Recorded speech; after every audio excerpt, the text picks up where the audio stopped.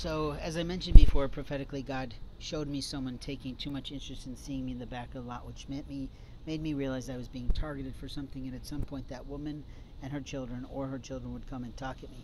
She did precisely that. She drove beyond me so that I would be sort of looking away from my pack and dealing with her. She tried to play me with a bag of food. I simply apologized and said, I'm sorry, I can't usually accept bags of food because I have so many allergies.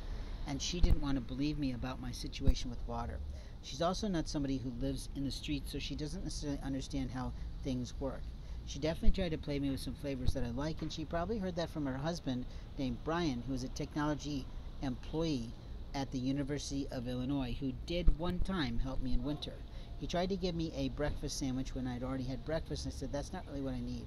What I really need is hot hands. And I pretty much schooled him and said, Look, you want to help me? Ask me what I need, and I'll tell you.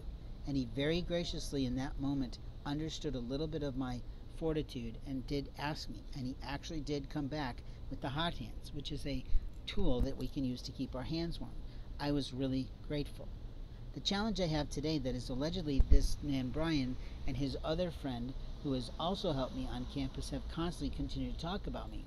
My concern is why?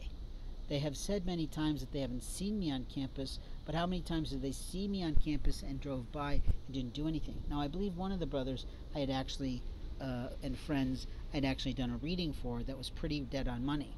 I think I also remember giving him a few things in consideration of his kindness of him either getting me something or giving me some cash. I can't remember. I think he might have given me some cash for my ministry, and I appreciated that.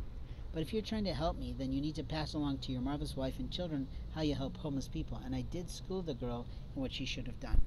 And that is to ask me what I need or to provide me a gift card so that I could get what I need to get at the right time.